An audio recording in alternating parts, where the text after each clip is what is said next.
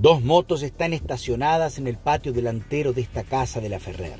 Es de madrugada y un ladrón está tentado y salta la reja para robar. Pero adentro, el dueño de casa escucha ruidos, es plomero y lo primero que agarra es su elemento de trabajo, una llave Stilson, y sale a darle una paliza al ladrón. Lo lleva contra un rincón y le da sin contemplaciones. También sale el perrito a morderlo el delincuente ya no tiene nada que hacer. Lo redujo y después hizo sonar una alarma vecinal. Llegaron más vecinos y lo entregó a la policía. Esto pasó en el barrio El Lucero de la Ferrer. Esto es registrado en cámaras. Imágenes de la inseguridad diaria. Una joven mamá volvía después de un día soleado en la plaza de Ranel a casa, pero en el camino se topó con un motochorro. No tuvo piedad este delincuente que se bajó de la moto con un arma y le dijo, si no me das el celular, le tiro a tu bebé.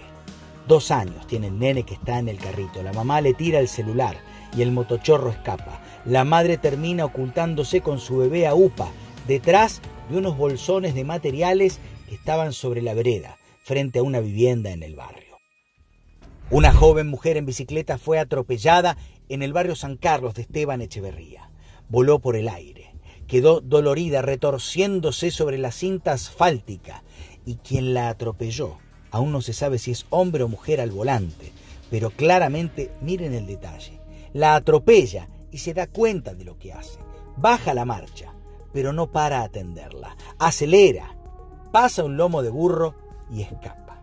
Esta joven mujer se llama Iris, es mamá de un hijo. El barrio salió a atenderla porque ella estaba llegando a su casa y terminó con una mano rota, pero además dolida, porque quien la atropelló no paró a atenderla. Con estas imágenes de cámaras de seguridad que registraron todo el evento, ahora buscan a esa persona que iba al volante y no tuvo alma para parar a asistir a Iris. Aquí están. Estos son los falsos laburantes. Entran vestidos de operarios Parece que son trabajadores, incluso que están trabajando en una obra cercana, quizás en la vía pública.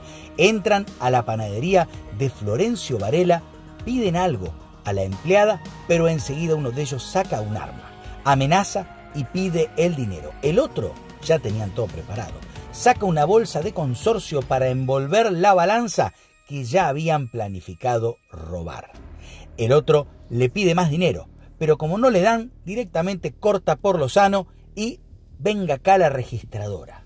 Así se llevan la balanza y la registradora en segundos de una panadería en Florencio Varela. Un tercer delincuente, fíjense, los esperaba afuera para poder escapar del lugar a toda velocidad. Lo viste en registrado en cámaras, imágenes de la inseguridad diaria.